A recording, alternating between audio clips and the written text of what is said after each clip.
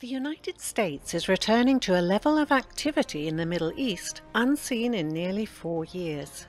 This development has become obvious over the weeks since Joe Biden became US President, firstly with a large deployment into Syria and subsequently with smaller ones. On February the 9th, the Pentagon said that it was no longer in Syria to protect and exploit oil fields. It is now back to hunting ISIS, back to the square one of 2014 and the Obama era. ISIS somehow obliged by ramping up their activities throughout Syria. It is a mystery that they were able to make such a sharp and sudden resurgence. It should also be noted that the Kurdish led Syrian Democratic Forces allegedly have about 10,000 ISIS terrorists imprisoned. This statement of intent denotes a massive shift in posture for the US. When defending the oil fields, the US troops were mostly static. When hunting ISIS, they can once again roam around and carry out various operations.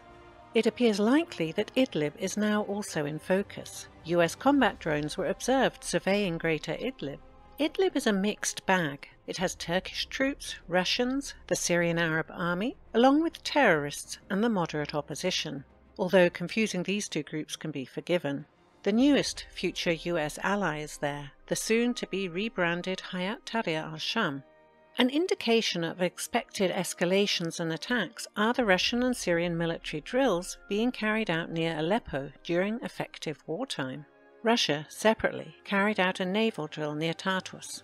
And as if by design, long range missiles attempted to strike Russia's forces at the Khmeimim airbase. Drones occasionally attempt to infiltrate its airspace, but missiles are a rare sight. Meanwhile, in western Daraa, the rebel leaders submitted to Damascus, likely fearing the upcoming chaos and wanting to choose a side. Finally, the Biden administration is also working to secure Israeli support.